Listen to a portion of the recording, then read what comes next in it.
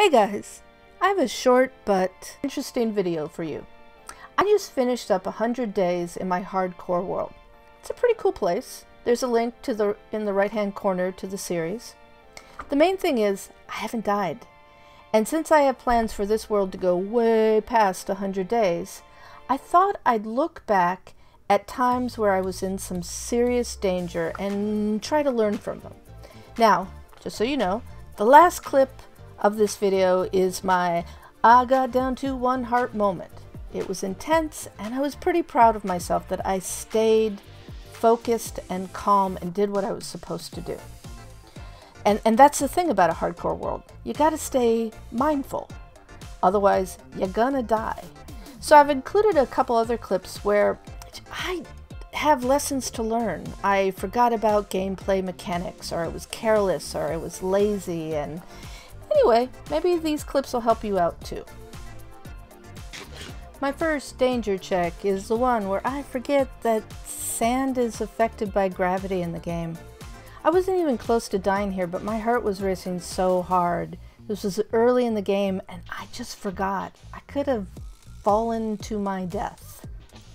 Ooh, I like this one. This is the one where I do a simple thing a simple thing like, hey, you know what? Lava's dangerous. Maybe I should put some blocks down in case I slip. And then literally like 10 minutes later, I'm heading back and some magma cube decides to body check me. And if I hadn't put those blocks down, I'd be in lava. This is the dangerous time where I panicked. Now, I probably ended up doing the right thing, but I was not in a calm place. So I was all slap happy about these little, little baby zombies, and then I see a creeper behind me and I panic because I feel like the creeper is either going to kill me or it's going to push me into these baby zombies and I'm going to die. And so I just take off running into the darkness. Now, thinking about it, I, I think that's probably what I needed to do. But oh, good lord, Oh, good lord. I was just panicked here. I was just panicked. I was just running. Uh, my hands were sweaty. My palms were were. I'm not even getting it right now. It's stressing me out looking at the video. Heart racing, palms sweaty. Yeah. So I don't know. Would I have done something different here? No, I did the right thing. But maybe just trying to stay in a calm place, if at all possible.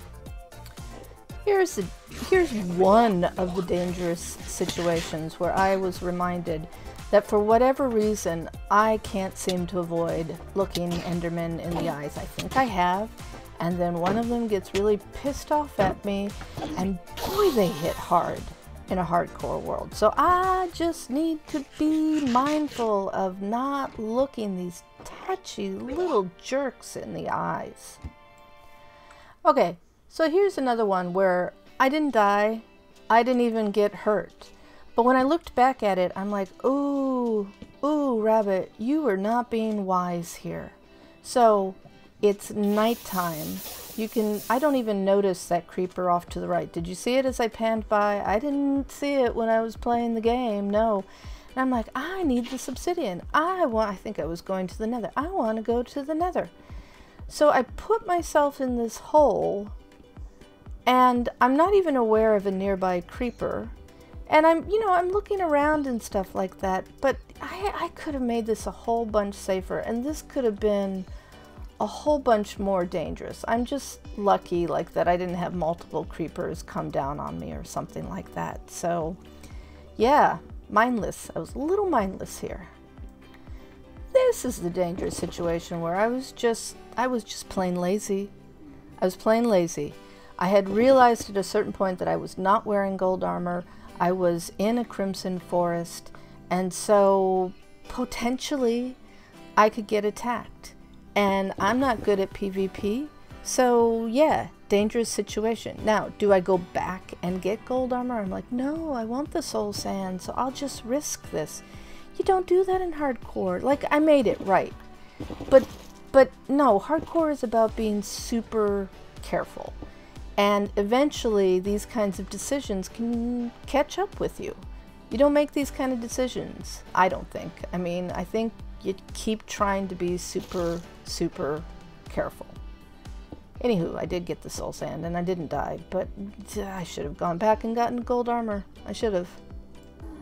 Ah, yes, this one. This is the one where I'm in the nether and I wasn't thinking about the types of dangerous mobs that I could be confronted with. So I was all about getting, uh, killing Enderman here. I had a uh, looting three sword. I was super excited about it.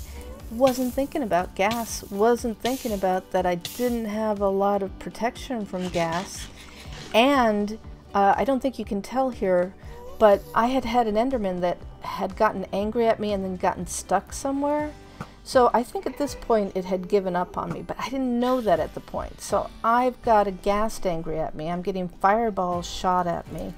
And potentially an Enderman that's just waiting for me to step out and, and, mm, well, knock me around. So yeah, this is just a thing of you're going into an area, think about the mobs that you're going to encounter.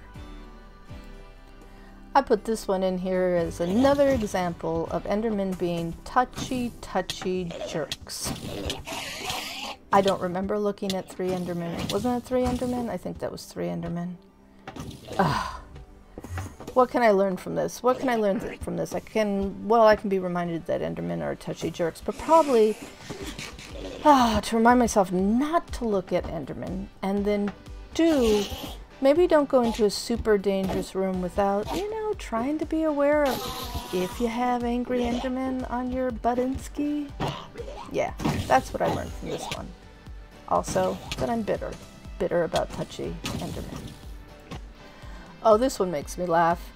Here's the one where I, I discover or, or looked up what is that feeling called when you're on the edge of something, like in real life, when you're near a window ledge or you're near a cliff edge and you're like, oh my God, oh my God, what if I jumped? What if I, I don't want to jump, but what if I jumped? Yeah, I do that in games too. Like I lit literally get vertigo and then I get scared about, well, what if I, what if I accidentally jump? What if I, uh, anyway, it's called HPP. It's the high places phenomena and, um, anyway, did you learn a new term? I did. HPP. Here is my most dangerous moment. And I am reminded about why maybe I'm bitter about Enderman. Alright, so during the dragon fight, um, I clearly looked at them, they got mad at me, and like six of them ganged up on me, beating me down to one heart. I race over, like using an ender pearl to get over to this safe area that I have. I was super close to dying here. I think I had to pause and like catch my breath. Meanwhile, like while I'm trying to get rid of these guys, the dragon is around me going, oh, hey, let me try to take you out while you're distracted by these ender... Yeah. Yeah, this was, this was pretty darn scary. Now, having said that, I was so proud of myself. I did not freak out. This is not like when I ran out into the dark cave with those three baby zombies. I was like, oh, look, the Endermen are hitting me. I made sure I have Ender Pearls in my hotbar.